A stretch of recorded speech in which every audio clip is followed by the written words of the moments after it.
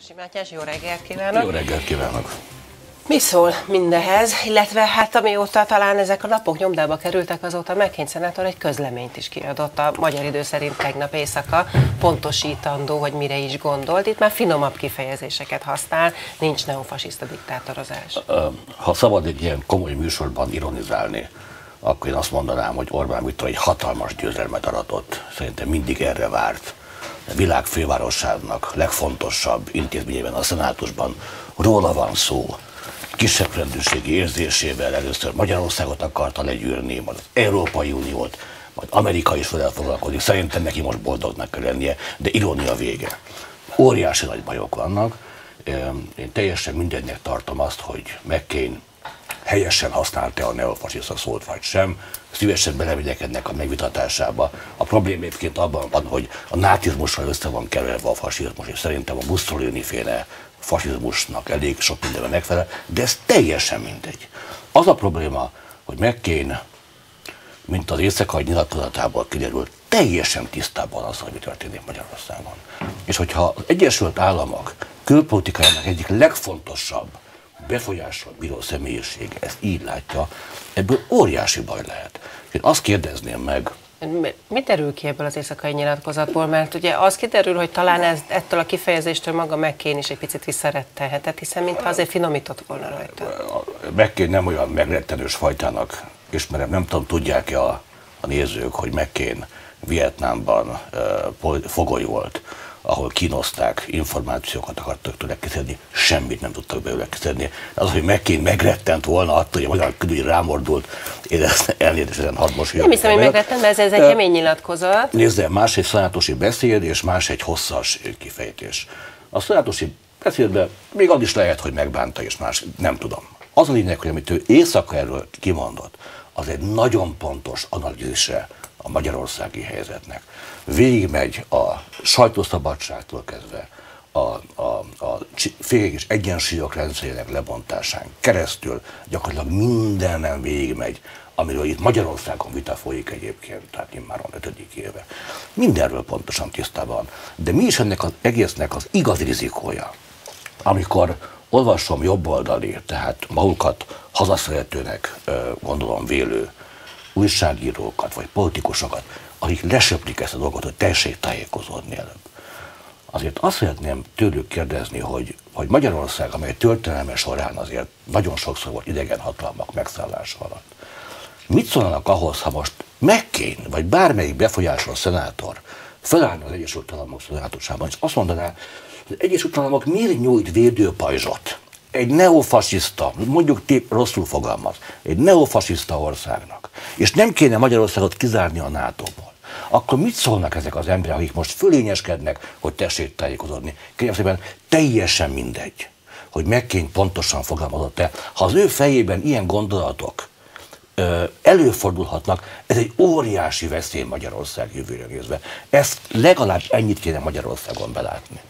A magyar külügyminisztérium úgy reagált erre a mondatra, hogy bekérette az amerikai ideiglenes ügyvívőt, André Gutfrendet a külügyminisztériumba, ami hát abból a szempontból egy érdekes lépés, hogy André Gutfriend az amerikai kormányzatot képviseli, McCain pedig republikánus. Nem csak arról van szó, hogy, hogy most mi, milyen oldalt képvisel. John McCain egy szenátor, egy, szóval egy, egy, egy parlamenti képviselő, most magyar kifejezésre egy parlamenti képviselő kifejezéséért, gondolatáért egy kormányt behívni a külügyminisztériumba, tudja, kik tesznek? Oroszok, kínaiak, kubaiak, venezuelaiak. Kész vége. Ilyet más nem csinál. Ö, azzal, hogy önmagában, hogy behívják a, a, a, külügy, a nagykövetséget a, a külügyminisztériumba, ezzel szinte alátámasztják, hogy Magyarországnak fogalma nincs a demokráciáról. Hát John McCain nem az amerikai Egyesült Államok kormánya nevében beszélt, hanem hát tetszik az arizonai bolgárok nevében, de hát ez egy képviselő, hát nem lehet egy képviselőt kormány.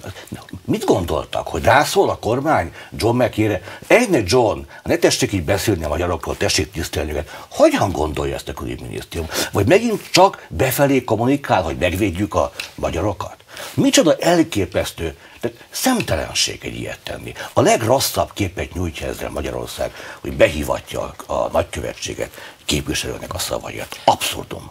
Ha már a nagykövetségnél tartunk, ön szerint igaza van McCain szenátornak, amikor azt mondja, hogy ebben a helyzetben, ebben az országban politikai kinevezettet küldeni felelőtlenség, egy szappanopera producerét, és ide karrierdiplomaták kellenének? Én azt tudom ennek erről mondani.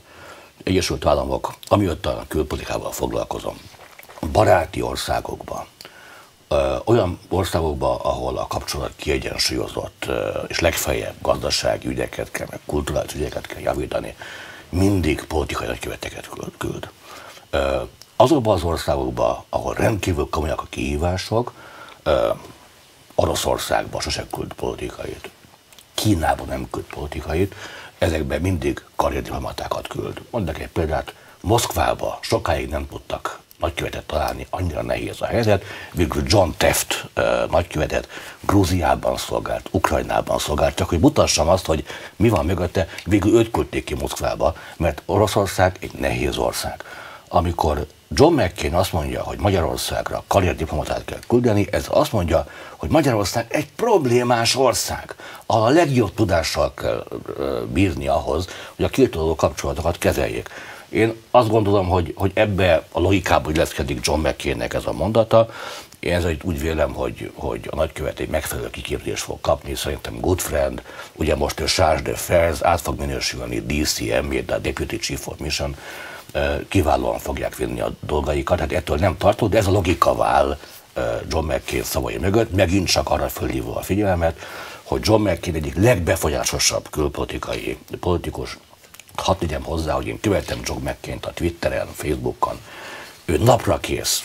Pakisztánból, Darfurból, Tajvanból, Dél-Afrikából, Lat- hihetetlen fölkészült. Stábja valószínűleg van egy stáb. Hát szerintem kiváló stábja, de most mindegy, lényeg, hogy nagyon felkészült, hogyha azt gondolja, hogy Magyarországra karrierdiplomatát kell küldeni, az arra utal, hogy komoly baj van. És itt nem lehet ilyen nagyképűen visszaválaszolni. Hát viszont az amerikai kormányzat valószínűleg azért nem gondolja, hogy ennyire komoly baj van. Egyrészt elhatárolódtak a McCain kifejezéstől is az amerikai külügyminisztérium, másrészt ők nem karrierdiplomatát küldenek, hanem ragaszkodtak Colin Bell személyéhez. Összefügghet-e ez azzal, amit ellenzők szoktak mostanában megpendíteni, hogy akár ez a nagyobb feszültség Magyarország és az Egyesült Államok között most amúgy is oldódhat, hiszen a déli áramlatnak tudjuk, hogy vége, és már a paksi bővítés körül is nagy kérdőjelek vannak. Hát én nagyon szeretném, hogy oldódjanak a kapcsolatok, mert ez nyilván nem jó ebben a dolgok. Vagy meg... a feszültség a kapcsolatokban. Igen, igen, igen.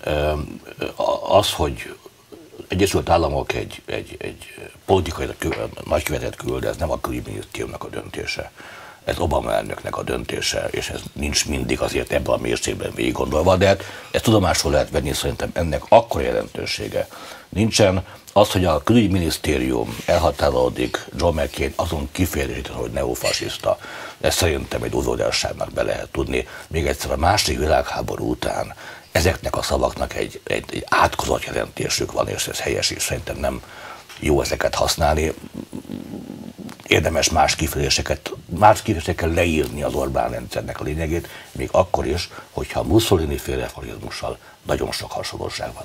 A korporativizmus, az erős állam, a, a, a, a pártnak az állammal való, nemzettel való azonossága, és lehetne a folyt sortatni, ez mennyiben hasonlít, tényleg ennek a szónak túl van terhelve a másik világháború után. Jól tette a külügyminisztérium, hogy ezt tisztázta, ugyanakkor érdemben, amiket John McCain elmondott, attól a külügyminisztérium nem határozott el. Azért nem, mert sajnos ebben John McCainnek igaza van. És ez a nagy kérdés, nem pedig az, hogy mit mondott. Nagyon szépen köszönöm, hogy a vendégünk.